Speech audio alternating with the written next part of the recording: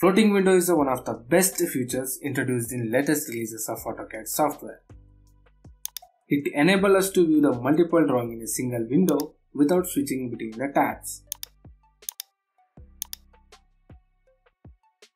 If you have a multiple monitors, you can easily drag the flyout window into the second monitors for better working experience. In latest release of AutoCAD software, this feature has been enhanced with some of the more features.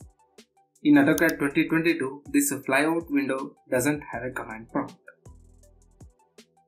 In new release of AutoCAD software, command prompt will switch between the flyout window with the cursor.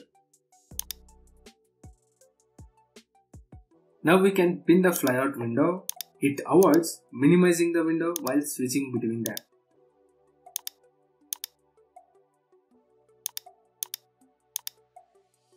And we can use move to file tab option to fix the fly window to the file tab. That's all about floating window in AutoCAD software. I hope this information is very useful for you.